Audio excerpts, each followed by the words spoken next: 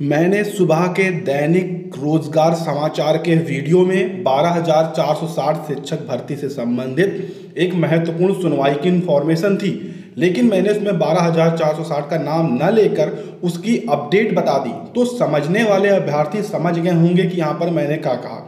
लेकिन उसी वीडियो में बहुत सारे अभ्यर्थियों के ये तक कमेंट आ रहे हैं कि इसमें मैंने कोई सूचना नहीं दी, इस वीडियो को देखने का मन नहीं होता, ऐसे बहुत सारे कमेंट आए हैं। तो ये आपकी समझदारी के ऊपर निर्भर करता है कि आप उसको क्यों नहीं समझ पाए, मैं इसमें क्या बताया मैंने, ठीक है? इसीलिए मैं इस वीडियो को बना रहा हूँ कि आपको अलग से अब मैं इसमें समझा दूँ कि क्या इससे संबंधित जो जानकारी वो आई हुई है। तो यही बताने के लिए। और दूसरी बात आप सभी जो अभ्यर्थी हैं, देखने की अगर बात करें तो वीडियो में कम से कम 2000 3000 लोग वीडियो को देखते हैं। लेकिन लाइक की बात करें तो 20 से 25 लाइक ही लोग करते हैं। यानी कि केवल अभ्यर्थी ये चाहते हैं कि हमें संबंधित जानकारी मिल जाए, लेकिन एक लाइक कोई अभ्यर्थी नहीं करता है। तो चलिए सूचना देख लेते हैं क्या आई हुई है।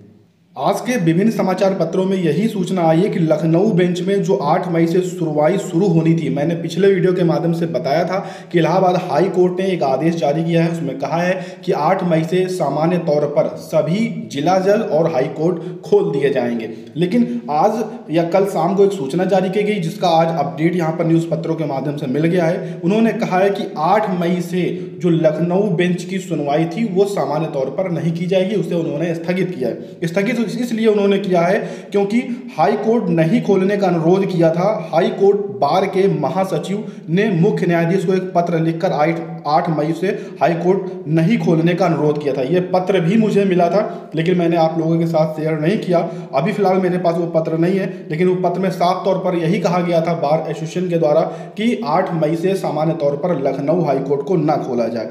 जिसके चलते मुख्य न्यायाधीश गोविंद माथुर को लिखे पत्र में कहा गया कि आठ मई से हाईकोर्ट खोलने के फैसले का भयंकर महामारी का और फैसले की आशंका है। इसके चलते जो यहाँ पर सचिव हैं, इन्होंने क्या किया, इसको आज से निरस्त कर दिया है। यानी कि 8 मई से अब सामान्य तौर पर ये जो कोर्ट है नहीं खुलेंगे। यहाँ पर बताया गया है कि इलाहाबाद उच्च न्यायालय के मुख्य न्यायमूर्ति गोविंद माथुर ने इलाहाबाद उच्च न्यायालय की लखनऊ बेंच में आठ मई से कोर्ट खोलने के फैसले को स्थगित किया है। यह कोरोना के प्रकोप को देखते हुए किया है। अब ये कोर्ट कब से खुल सकती हैं? इसमें अभी जो भी आठ लाइन, आठ मई से खुलेंगे, उसमें कुछ गाइडलाइन होंगी। ठीक है, पहले सामान्य तौर पर था, इसलिए संभावनाएँ बढ़ गई थी कि बारह हज़ार चार सौ साठ जो केस की आवश्यकता सुनवाई है, वो करवाई जा सकती है।